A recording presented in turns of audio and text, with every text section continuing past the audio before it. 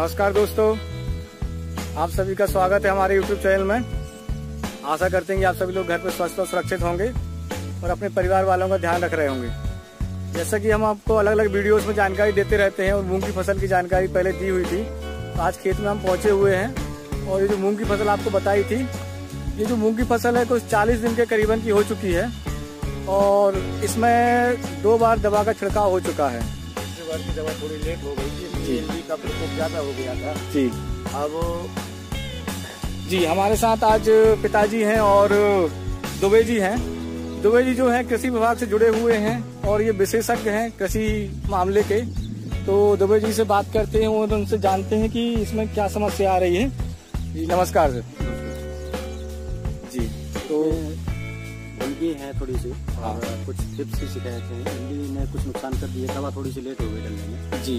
बाकी इसमें दोबारा स्प्रे में जैसे थाइमोथॉक्सम आता है उसका स्प्रे होना है इसके साथ में प्रोपेनो और अ, आज इस कंडीशन में तो इसमें कम से कम एक बार स्प्रे और होना चाहिए परफेक्ट का ताकि इसमें फूल और फलियाँ अच्छी। दवाई है वो कवर हो जाए थोड़ा सा। नुकसान हुआ है थोड़ा सा कवर अच्छा तो जो फ़सल में अब ये कह सकते हैं कि थोड़ी पिछड़ चुकी है आप ये देख सकते हैं कि जो पत्तियाँ हैं ये इल्ली ने खाई हुई है? हाँ पत्तियों ने ये सब जी इस टाइप में जाल टाइप में बना देती है ये। अच्छा। और इसमें कंप्लीट पूरा इल्लियाँ होती हैं वो खाती हैं। कुछ सुंडी भी सफ़ेद कलर की वो सुंडी होती है। जी जी। वो पत्तियों को बिल्कुल अच्छा।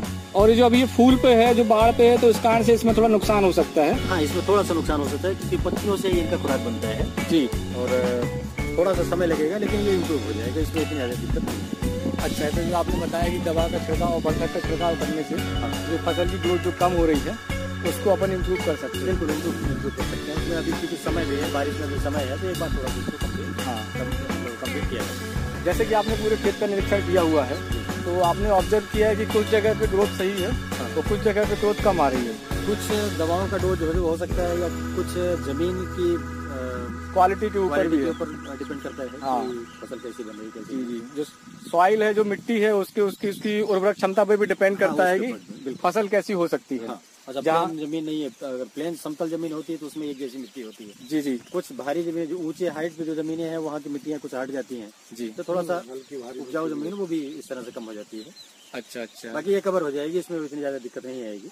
अच्छा। कवर हो जाएगी। उसमें एक टैग बायो गोल्ड आता है। जी। एक वो और उसके साथ में एक थाइमेथॉक्सम का एक स्प्रे हो जाएगा तो हाँ। उसमें ग्रोथ भी आ जाएगा और जो भुनगी भी है वो भी खत्म हो जाएँगे। अच्छा तो जैसे आप इस विभाग से जुड़े हुए हैं तो आपको इस तरह की समस्याएँ तो हमेशा आती रहती होंगी हर हाँ, फ़सल में? हमेशा कर, करते रहते हैं देखते रहते हैं। जी जी। तो ये आपका बहुत ही अच्छा अनुभव होगा। अच्छा हुआ आपसे मुलाकात आया हुआ था कि आपने कृषि विभाग में शिक्षा हासिल की है। तो थोड़ा सा बताएँगे कि आपने किस तरीके की शिक्षा हासिल की है कृषि विभाग में? एग्रीकल्चर से किया हूँ क्योंकि आज के डेट में एग्रीकल्चर के डिवीज़न में जाने के लिए ही जी। टेक्निकल होना ज़रूरी होता है। जी, जी। तो बीएससी एग्रीकल्चर हमने किया जी। और पूर्वांचल यूनिवर्सिटी से। जी जी। तब से हम सेवाएँ दे रहे हैं। आज करीब तेरह साल हो गए। जी जी। लगातार तो सेवाएँ दे रहे हैं किसानों के बीच में। जी जी। Thirteen years is very good experience और थर्टीन ईयर्स में आपने जो अपना अनुभव किया है बहुत ही अच्छा है आपके जो शिक्षा के एक्चुअल मैं भी हूँ जो किसान का ही पुत्र हूँ। बट मेरा जो इंटरेस्ट था इंजीनियरिंग के साइड में था तो मैंने इंजीनियरिंग कंप्लीट करके अपनी इंजीनियरिंग साइड सेवा दे रहा हूँ। जितना समय मिल जाता है तो घर पे अगर कभी समय मिल जाता है खेती किसानी में हाथ बटा देते हैं। इस तरह आपसे मुलाकात होगी अच्छा हुआ आपसे जानकारी मिल गई। बिल्कुल। जी। नमस्कार। जी इसी तरह आपको और भी जानकारी देखते रहेंगे और मिलते रहेंगे आपको अगले वीडियोस में। तब तक आपसे निवेदन है कि हमारे चैनल को सब्सक्राइब करें और वीडियो को लाइक करें और जो बेल आइकन है उस पर क्लिक करें। और अपना ख्याल रखें। मिलते हैं आपको अगले वीडियोस में। तब तक के लिए नमस्कार। नमस्कार। नमस्कार। जय जवान जय किसान। जय जवान जय किसान। और इसी तरह हमारा देश प्रगति करते रहे और किसान आगे बढ़ते रहे। बहुत समस्या का आ रही। इल्ली आ गई है इल्ली। इल्ली आ गई है? इल्ली लग रही ज़्यादा मूंग में? लग रही इल्ली है। है। कैसी का इल्ली लग रही बताओ लोगों के। ये जो पत्ती है आप देख सकते हैं कि ये जो पत्ती है इसमें आपको जो इल्ली दिख रही है एक छोटी है बड़ी है और भी यहाँ पे इस तरीके की इल्ली एक ही पेड़ में देख सकते हैं आप। इस तरीके की इल्ली जो है जो आप अगर जूम करके दिख रहा है ये पेड़ में जो है हाँ ये पेड़ में दिखा रही है तो ये पत्तियों को ऐसी खा लेती है। खा लेती है। ये जो आप पत्तियाँ देख रहे हैं पत्तियों खाती है और जो फूल आने को रहते हैं जो बाढ़ पे रहती है उस फ़सल को ये नुकसान करती है और इसको